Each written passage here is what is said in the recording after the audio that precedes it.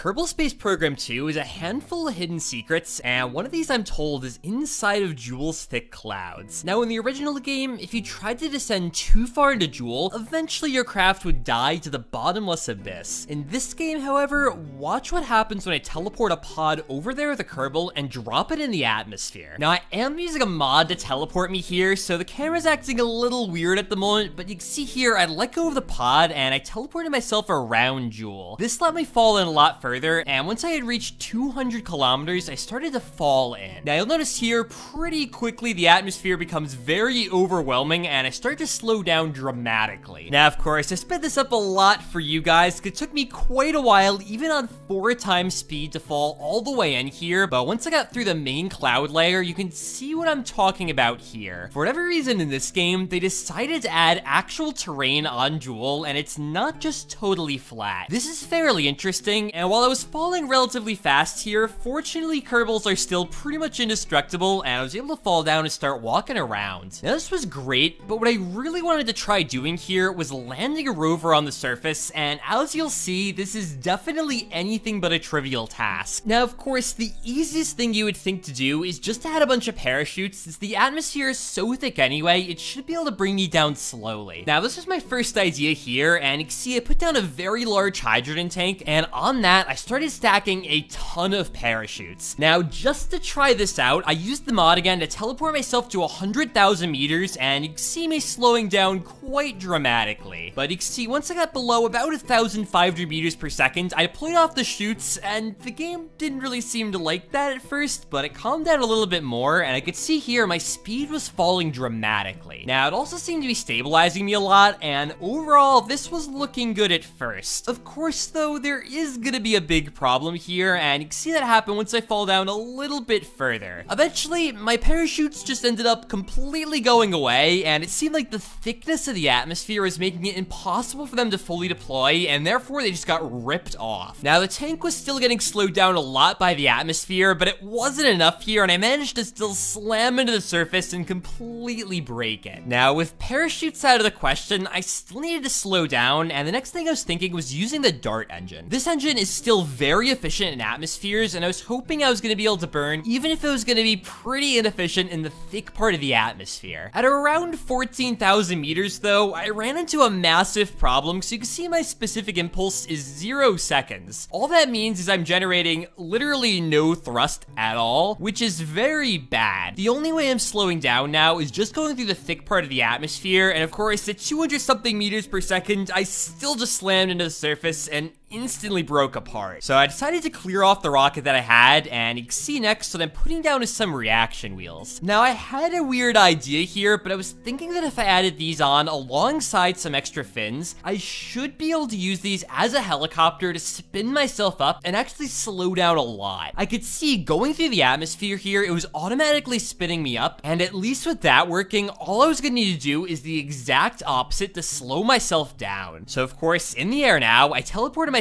back over to Jool, and see me falling back into the atmosphere. Once I fell down to around 50,000 meters, I wanted to give this a shot. Now you can see here, I'm going about 40 meters per second before I start spinning, and once I do, I somehow manage to go even faster. I've noticed this effect before in this game, and it seems like helicopter-esque mechanics just aren't quite there yet, and I was gonna need something else. Now there's one other source of thrust in this game that's a little bit different than everything else. Here you can see I'm putting down a command seat on two decouplers. Launching this off here, I get a pretty good amount of speed, and this was pretty much my plan to slow down at the last second. Now, seeing that success, I just started adding on more decouplers here, and I wanted to see how much speed I could gain. So now on the launch pad with my comically large stack, I just started decoupling these, and while at first I wasn't getting a ton of speed, at the very end here, you can see just how fast it got launched away, and for a second there, I barely hit 700 meters per second. Now, Jool's atmosphere is going to be very thick, and its gravity is a lot higher, but I wanted to give this a test run because I really thought it might actually have a chance of slowing me down. Now, of course, at first here, things can never quite go right, and I was managing to fall exactly upside down, but I figured it should be good enough anyway to just try launching these off in the atmosphere and seeing if I was going to gain speed. Now, judging off my speedometer, it actually did seem to be working here, and I was gaining a lot of speed into the surface. All I needed to do next was figure out a way to maybe slow myself down a bit more and also stay the right way around. Now, I thought about using parachutes here since they actually were doing a pretty good job for a while of keeping myself going straight and gave them a shot here. Now, this actually did seem to work at first here, and I could see it was falling directly up and down, and this was looking great. Eventually, though, these still ended up ripping off here, which wasn't really what I was looking for, and I was worried about stability for the last 10,000 meters of my fall. Now, next up, I was thinking about using these surface panels. These aren't perfect, but I figured they should sort of work like stabilizer fins to keep me the right way around, while also providing a lot of air resistance to slow me as much as possible. This seemed like a really good idea since the gravity's so strong, I was very worried I wasn't going to be able to slow down even with all these decouplers. Now, falling into the thick part of the atmosphere, I put them the wrong way around, but they did actually seem to be doing a pretty good job of slowing me down here, so I flipped them to the other side of the decoupler stack, and I also added on more panels for even more of a slowdown effect. I was also curious at the time how fast these legs can end up taking an impact, so I added a bunch of them on here, and I wanted to give this another test. This rocket proved to be very unwieldy though, and eventually this just ended up completely ripping apart. Now at this point, I was just trying a whole bunch of different things to slow me down, and I really never quite settled on anything I liked. After quite a while, finally I decided to go for this dart design, and you can see here I'm putting wings facing in the correct direction. Now alongside these, I also wanted to add on some more fins to the edges facing horizontally. This should both guide me down and slow me down a lot. Now teleporting myself over to the Jool here, you can see it wasn't really all that stable, so I decided to get rid of these side wings and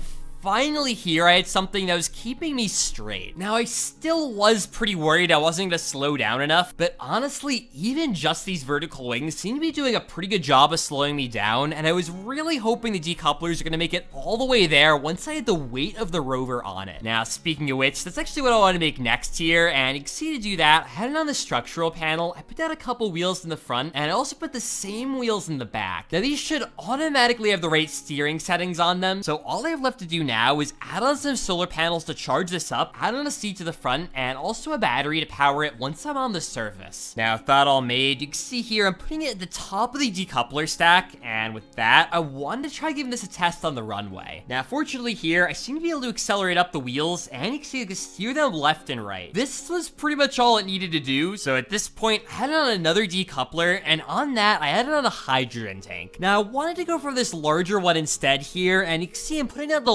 largest hydrogen engine that there is. Now, this all, of course, is to get me all the way to Jool, but to get off the ground, I was gonna need a bit more of a boost, and for that, I tried using these solid rocket fuel boosters. These are pretty much my go-to since they're so easy to use, but pretty randomly, it ended up just failing on me. Now, I tried this again to see if something was weird here, and looking a bit closer, I could see all these tanks were vibrating. Now, to solve that, I wanted to add a bunch of these struts here, and see after adding a few of these on the top here, I started to fly up into the air. This was going well, but I had very little control. As soon as I started to tilt to one side, the entire rocket ended up tumbling. Now, to hopefully solve that problem, I took apart some of these decouplers, and you can see here, I added in a fairing. Now, this lets you cover things, and after shrinking down some of these wings here to make it fit a bit better, I managed to somewhat get it all covered up. For whatever reason, I was having a lot of trouble finishing this off, and it really didn't want to come down to a nice point, so instead you can see there's this little gap at the top. Now, I was hoping this wasn't going to be a super big deal, and you can see now I'm launching off the runway once again. Unfortunately, though, it still ended up going side to side, and I was losing a ton of wings, and I realized this still just wasn't going to work. Now, I finally decided here to shrink down the wings as much as I could, and you can see I also deleted off the fairing. Now, with this, I was hoping that I was minimizing my wing area on top, and I'd be able to get all the way to Jool without tumbling over. Now, at around 7,000 meters, I started to do a gravity turn here, which didn't really go very well, so my new strategy was to not try to tilt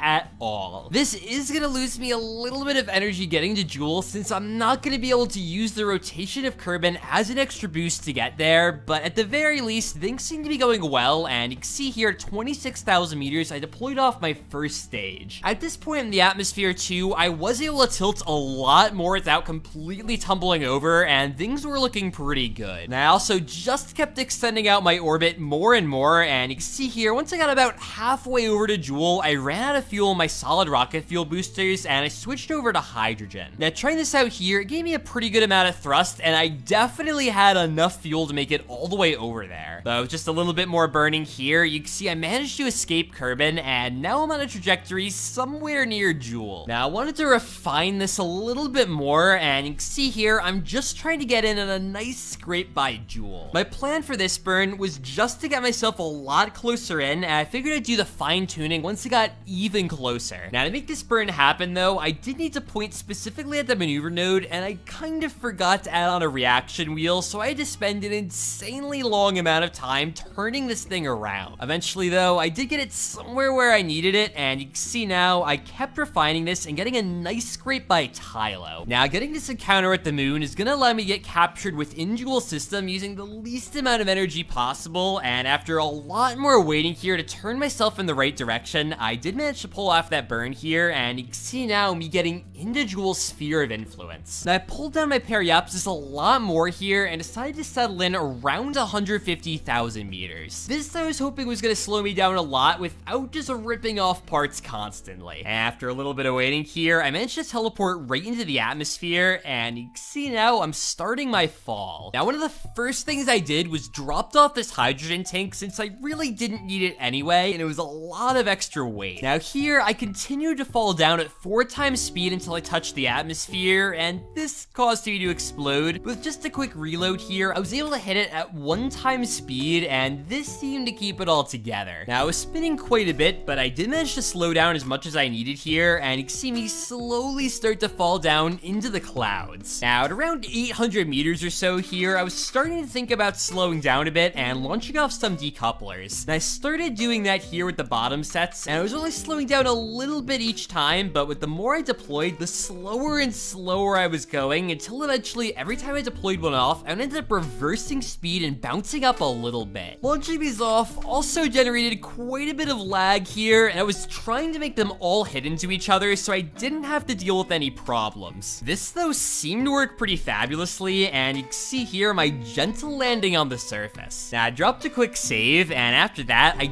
finally decoupled off the rover, which went a little higher than I was hoping, but it did mostly land on the surface. Now, this almost worked out, but it did end up falling over here, so with just one more drop onto the surface, I gave this another try. With another attempt here, though, I was able to land in much the same way as before, and you can see now I tried much more carefully launching off the rover. This time, I got a lot more lucky here, and you can see I landed on the wheels. With this thing finally down, though, that's a full mission completion. But guys, have any more ideas for weird missions I could try out, make sure to leave them down in the comments below. Of course, also make sure to subscribe if you want to see more content like this, and otherwise, until next time.